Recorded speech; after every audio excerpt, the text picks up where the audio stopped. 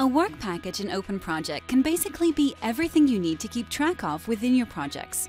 For example, a task, a feature, a bug, a risk, a milestone, a project phase, and much more.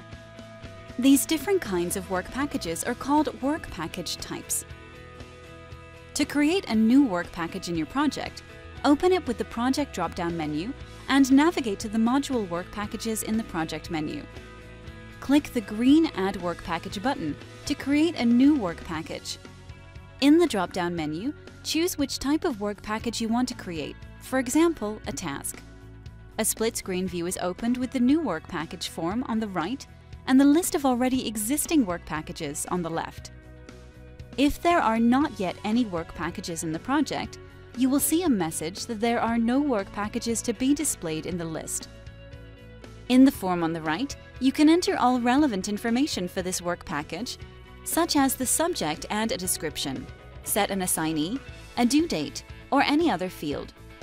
You can add a screenshot directly to the description with copy and paste, or upload attachments to the work package with drag and drop.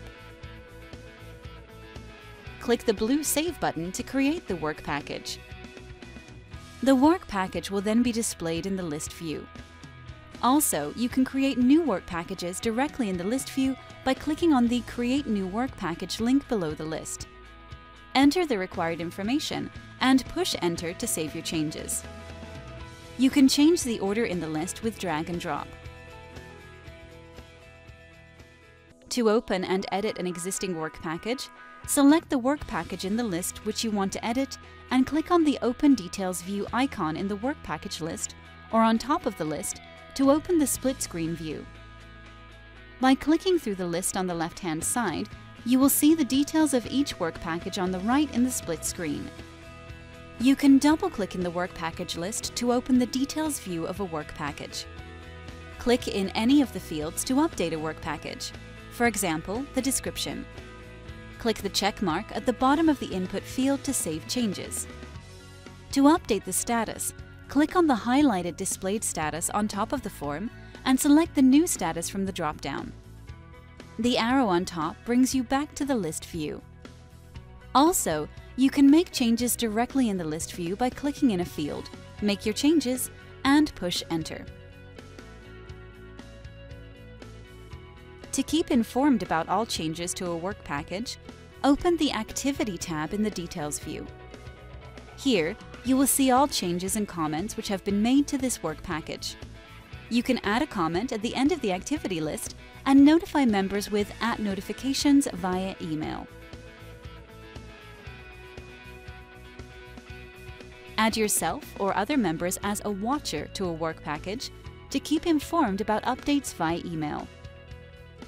On the Relations tab, you can enter work package relations, such as children, or the time relations precedes and follows. Remove the relation by pressing the X. To set a parent work package, click on the field above the title of the work package and choose the parent by typing the subject or ID and select it from the list. You will find further advanced settings in the context menu on the right of the work package list, such as change project, copy or delete a work package. If you want to edit several work packages at once, select the work packages which you want to edit in the list view by keeping the control button pressed. Click the right mouse button and select the bulk options you need.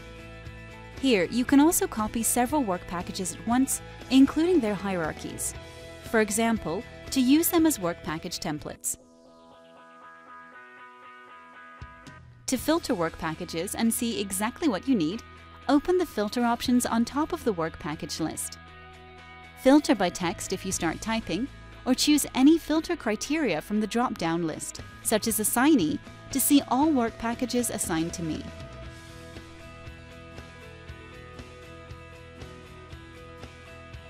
Save your filter by selecting Save As in the Kebab menu on top. Enter a name, adapt the visibility settings, and press Save. The new filter will then be displayed in the project menu. To change the list view, click the Configure View icon on the right of the list. You can, for example, add additional columns to the list or group the list by certain criteria. Don't forget to save your changes to be displayed in your work package view.